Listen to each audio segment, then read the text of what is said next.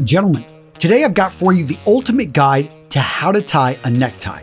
Rule number one, choose the right collar type. Point collar. The point collar is best paired with a slim tie that has a smaller knot. A wide tie and a large knot would easily overwhelm this collar type and mess up the proportions. 2. Spread collar. This collar you can experiment with, but it will look best with a medium width tie and knot. Number 3. Widespread collar. This type of collar is going to stand out due to its width, so you should put it in check with a wider tie and larger knot. Smaller knots and skinny neckties, they'll just get lost in this collar style and look out of place. Rule number two, get the right lapel size.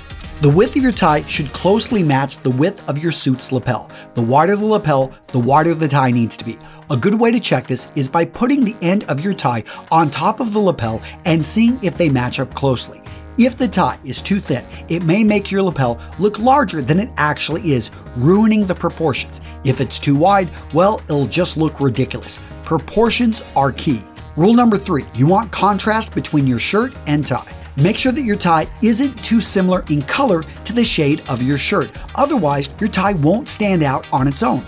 A lighter shirt with a dark necktie is my go-to combination and I find it to be the most stylish as it has the perfect amount of contrast. Now, what about dark colored shirts with light colored ties? You can pull this look off, but it's very casual. This is not a dressed up look. Rule number four, don't exactly match your pocket square and tie. You may have heard that you should match your pocket square and your tie. This is actually incorrect. Although many stores sell them as a pack, you don't want to actually wear them like that. The pocket square itself was meant to be a standalone accessory. Use a pocket square with a different color or pattern than your tie, and this looks so much better than a pocket square and necktie that match exactly. And if all else fails, go with a simple white pocket square in a presidential fold. This will work with any necktie and is really a simple go-to look. Now let's transition and talk about the basic four necktie knots that you need to know. First up, we've got the four in hand. This knot is perfect for pointed collars and smaller lapels. To tie it, first make sure the wide end is longer than the narrow end. The length will depend on the tie itself. Take the wide end and cross it over the narrow end, and then bring it under and behind. Wrap it around and across the front again, creating a loop. Then bring it up through the neck opening. Now pull the wide end through the loop created at the front, but don't squeeze it. Now you want your tie to have a dimple, as it looks much better than the tie just laying flat.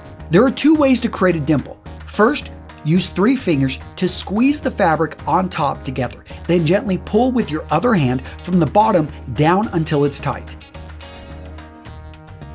Another way is to pinch the knot from the sides with two fingers. Now use the other hand and with three fingers placed on each side and the middle of the tie, gently pull down until it's tight.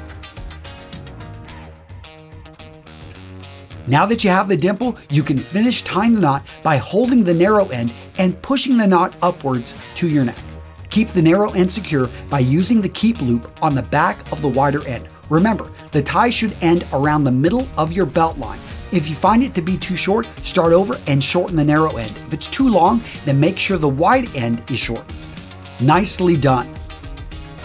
Next up, we've got the half Windsor.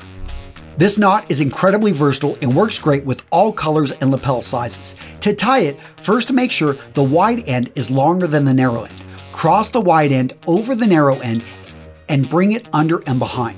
Now take the wide end and push it through the neck opening. Once it's through, take the wide end and pull it across the front of the knot and bring it under and through the neck opening again. Pull the wide end through the loop created at the front. Now add the dimple. Hold the narrow end and push your necktie by the knot up to your neck. Insert the narrow end into the keeper and you're done. If it lands on the middle of your belt line, you nailed it. Next up, the full Windsor. This is a large knot, perfectly suited for wider collars and wide lapels. Start by making sure the wide end is much longer than the narrow end. Now cross the wide end over the narrow end. Bring the wide end under and through the neck opening. Once you do that, take the wide end behind the narrow end and bring it over and through the neck opening once again At this point, you should notice the symmetry of the knot. Now wrap the wide end across the front, then go under and through the neck opening from behind one final time. Finish off by pulling the wide end through the loop formed at the front, adding the dimple and pulling the knot upwards while holding the narrow end to tighten the knot.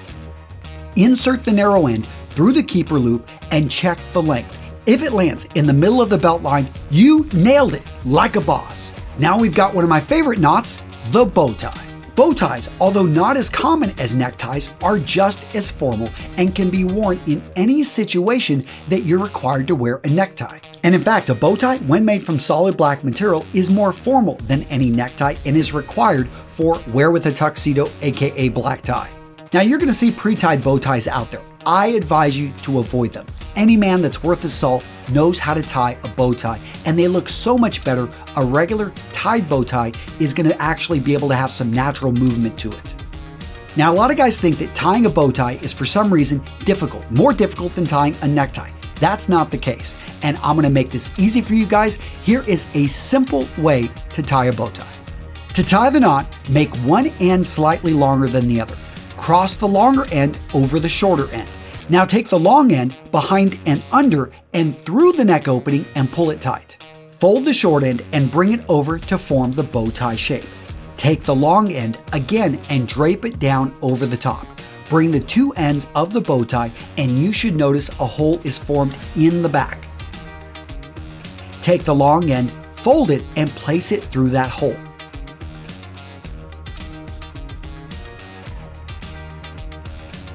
So at this point, you've got a messy bow tie.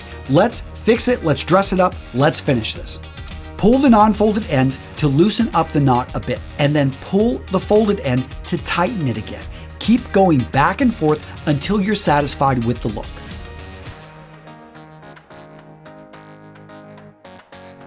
Congratulations, you just tied a bow tie. So what video to watch next? Check out this one. I'm gonna teach you all about dress codes so that you understand when to wear each type of tie. The link to this video down in the description, along with tons of other great resources you'll find over at realmenrealstyle.com.